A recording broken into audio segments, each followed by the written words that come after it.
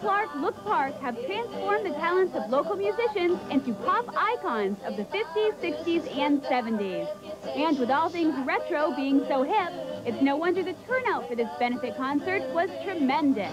And Johnny Memphis, who recreated the forever young Dick Clark, says that plans for next year's benefit are already in the works. It will be called Rock and Roll Heaven, your favorite dead performers brought back to life.